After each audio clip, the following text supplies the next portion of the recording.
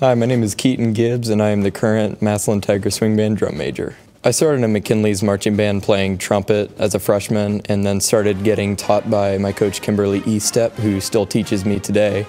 Um, I also attend the OSU drum major winter sessions and spring clinic. Ohio State was what made me want to be the drum major in the first place. Uh, one night I was watching videos of Ohio State's marching band, and the drum major was what caught my attention the most.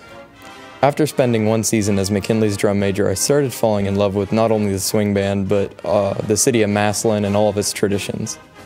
One of my biggest fears about coming to Massillon was if I wasn't going to make any friends and if people would hate me, but it, uh, it turns out people, you know, I made a lot of friends here and I love and adore all of them. Being here at Massillon, all of my directors have influenced me in becoming the performer and leader that I am today.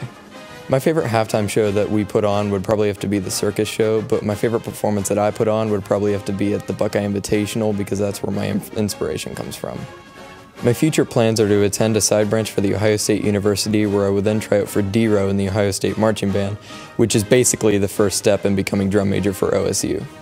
My advice for anyone who wants to be a drum major anywhere is to start now, do not wait, um, work hard, and believe in yourself.